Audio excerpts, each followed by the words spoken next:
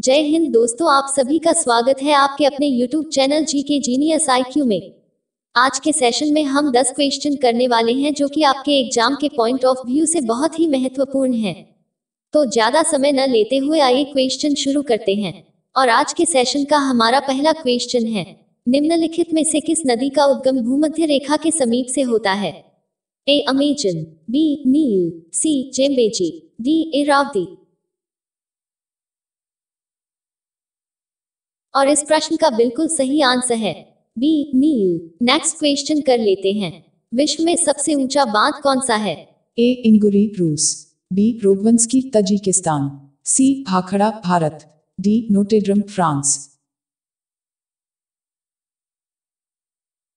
और इस प्रश्न का बिल्कुल सही आंसर है। बी रोगवंस्की तजिकिस्तान। नेक्स्ट क्वेश्चन कर लेते हैं। जमशेदपुर शहर किन नदियों के संगम पर बसा है?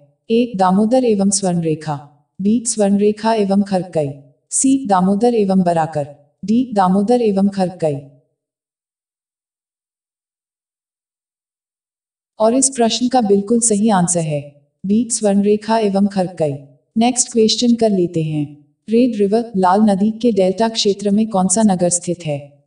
A Vientiane. B Seoul. C Hanoi. D Hankou और इस प्रश्न का बिल्कुल सही आंसर है।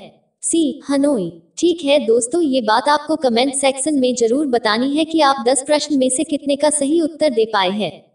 नेक्स्ट क्वेश्चन कर लेते हैं। कौन सा बंदरगाह यूरोपोर्ट के नाम से जाना जाता है? A Hamburg B London C Rotterdam D Lisbon और इस प्रश्न का बिल्कुल सही आंसर है।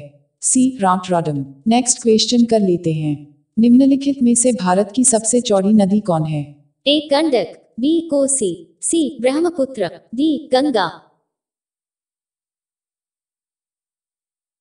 और इस प्रश्न का बिल्कुल सही आंसर है सी, ब्रह्मपुत्र। नेक्स्ट क्वेश्चन कर लेते हैं। सवाना घास के मैदान कहाँ है? ए, अफ्रीका में, बी, ऑस्ट्रेलिया में, सी, यूरोप में, डी, उत्तरी अमेरिका में। और इस प्रश्न का बिल्कुल सही आंसर है। ए, अफ्रीका में। ठीक है दोस्तों नेक्स्ट क्वेश्चन करने से पहले आपसे एक रिक्वेस्ट है। यदि आप हमारे चैनल पर पहली बार आए हैं तो वीडियो को लाइक करें शेयर करें और चैनल को सब्सक्राइब कर प्लीज़ हमें सपोर्ट करें। नेक्स्ट क्वेश्चन कर लेते हैं। सामान्य निर्वाह कृषि श्रीलंका में किस नाम से जानी जाती है? A, conuco, B, huma, C, milpa, D, chena.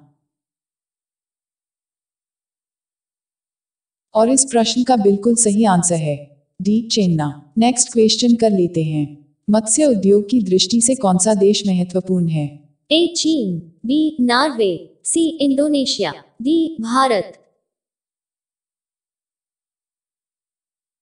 और इस प्रश्न का बिल्कुल सही आंसर है। B, Norway. नेक्स्ट क्वेश्चन कर लेते हैं। एशिया का सबसे बड़ा लौह इस्पात उत्पादक देश कौन सा है? A, Bharat. B Japan, C, Indonesia, D, China. और इस प्रश्न का बिल्कुल सही आंसर है, डी, चीन। ठीक है दोस्तों, आज के सेशन में बस इतना ही। यदि वीडियो अच्छा लगा हो तो लाइक करें शेयर करें और चैनल को सब्सक्राइब कर प्लीज़ हमें सपोर्ट करें। धन्यवाद।